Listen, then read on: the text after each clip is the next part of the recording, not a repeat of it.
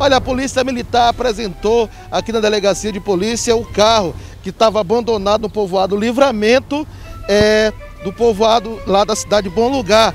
Já levaram o carro até a Matinha e lá os policiais é, trouxeram até a delegacia de polícia. De acordo com as informações, esse carro pertence àqueles três elementos que foram apresentados aqui na delegacia, suspeito de envolvimento no sequestro é, do empresário aqui no Maranhão, que morreram duas pessoas aqui, dois bandidos, em confronto com a polícia militar é, num povoado próximo da cidade de Bom Lugar.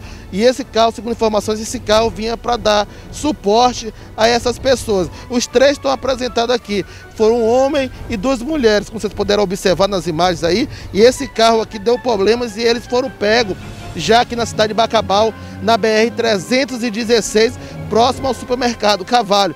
Aqui ainda na delegacia, nossa equipe de reportagem conversou com o tenente da Polícia Militar. Ele foi abandonado ali pelo povoado Livramento. Né? As equipes que estavam saindo de serviço conseguiram arrastá-lo até o, o povoado Matinha. E agora a gente foi no povoado Matinha, como ele acho que está com problema de motor, alguma coisa, não conseguiu funcionar, a gente trouxe e rebocou até aqui para apresentar agora na delegacia.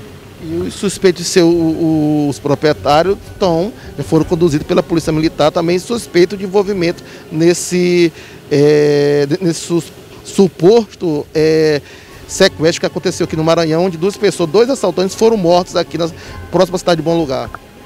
Perfeitamente. É, agora cedo, volta de 8 ou 8 e meia da manhã, uma guarnição da Rádio Patrulha, comandada pelo Sargento S. Filho, conseguiu abordar umas pessoas que já, já tinham passado para a gente algumas características que seriam as pessoas que tinham abandonado o veículo lá no Povoado Livramento. Então o Sargento S. Filho trouxe, apresentou na delegacia. Chegando na delegacia eles confirmaram que de fato abandonaram o veículo lá. Né? Então foi apreendido o pessoal e agora a gente está conduzindo aqui até a delegacia o veículo para ser tomada as medidas cabíveis. Aí, o veículo foi apresentado aqui na delegacia de polícia e agora complicou mais um pouco para essas três pessoas. São todos da cidade de Teresina. Segundo informações, eles iam para a cidade de Gonçalves Dias. De Teresina para Gonçalves Dias, você vai para Piritoró. E eles vieram parar, foi na cidade de Bom Lugar. Repórter Lima para a TV Difusora.